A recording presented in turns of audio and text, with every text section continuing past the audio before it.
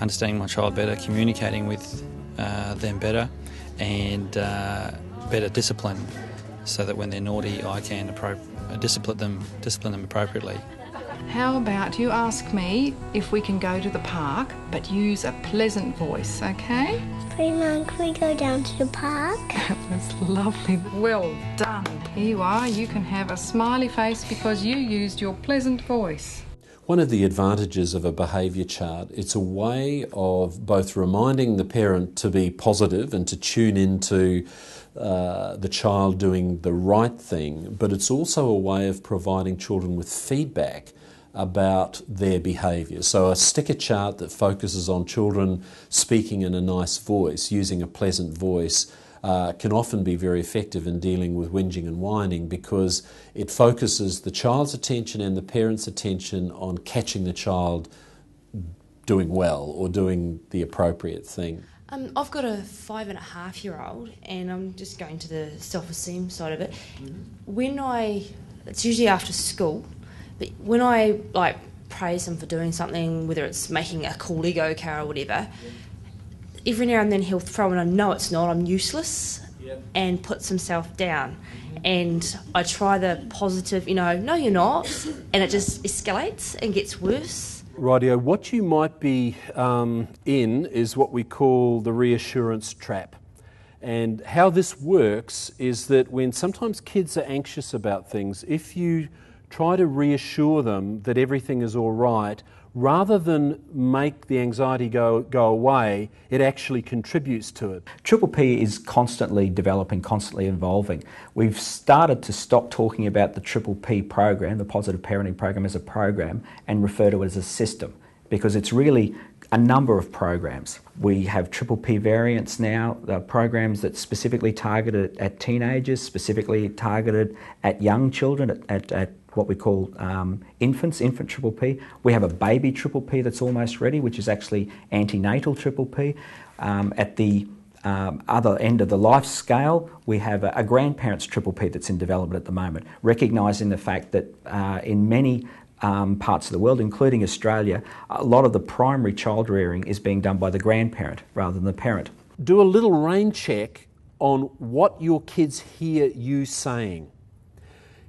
If you come home from work or uni or whatever you're doing, and all they hear is whinging and moaning and complaining about workmates, workloads, difficult, unreasonable, demanding people who are making life a misery for you, um, children learn that it's okay to criticise others. It's okay to be negative, and you know we can think of this as downloading and and you know sort of having a little whinge and a, a moan and a complain, um, and you know you think okay, no big deal.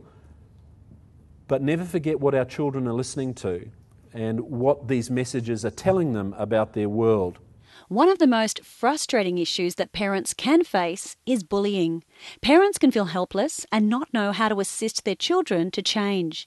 Triple P is currently developing a specific program for the whole family to tackle childhood bullying behaviour. It's about a um, a 12 session program, so it's actually quite an intensive program, but it very much specifically relates to teaching kids the skills they need to make good friendships, and which is sort of taking the more positive spin of dealing with bullying because one of the things that protects kids from being bullied is having good friends. And the more friends kids have, the less likely they are to be bullied or to bully themselves.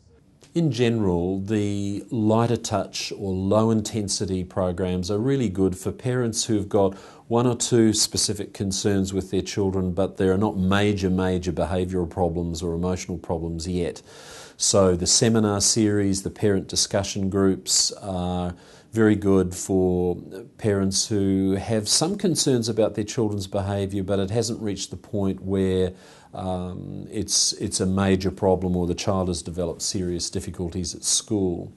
The more intensive programs, um, this is these are the group triple P and the standard triple P, which is the one-on-one more intensive program, and the enhanced versions of triple P are really there for parents who are really quite worried about their children. Um, problems have developed uh, over a period of time, so the child may not only be uh, disobedient and challenging, but, but perhaps aggressive. Uh, they may have what's called a disruptive behaviour difficulty, uh, such as an oppositional defiant behaviour problem or a conduct disorder, or a child may have ADHD, which is attention deficit hyperactivity uh, disorder.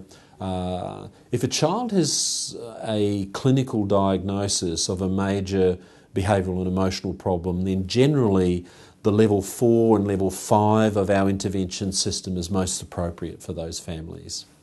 When parents are become parents, there's not necessarily something innate in them that means they know all the answers or that all the answers reside with their parents or, or whoever's giving them advice on parenting. That there are scientifically proven ways to be an effective parent. Many would agree that Triple P can change the world with its parenting techniques and advice.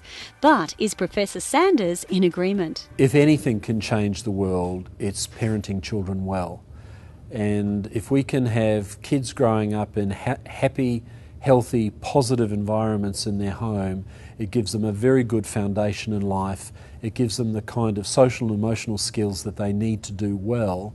And when this happens, this is an extremely positive thing that can happen in the community. Thanks for joining me in discovering some leading social science in practice that originated here in Australia and has been taken to the world. Something that is dear to many of us techniques for better parenting. I hope you've enjoyed this series. We've covered a lot of ground.